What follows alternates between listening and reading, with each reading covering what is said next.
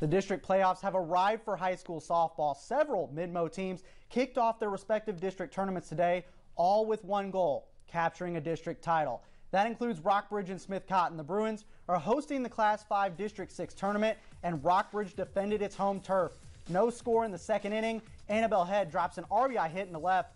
1 0 Rockbridge. That was just the start. Kennedy Watson ropes an opposite field double to bring home another run. It's 6 0 Bruins now. And here's the exclamation point in the inning. Ava Bush shows off some opposite field power. That's way out of here. Her two run shot capped off an eight run inning.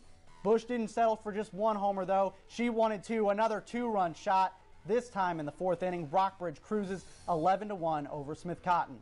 To the scoreboard in Class 5 District 4, Hickman season ends with a 10 0 loss against Fort Zumwalt West. Battle season also came to a close with a 10 0 loss to Timberland.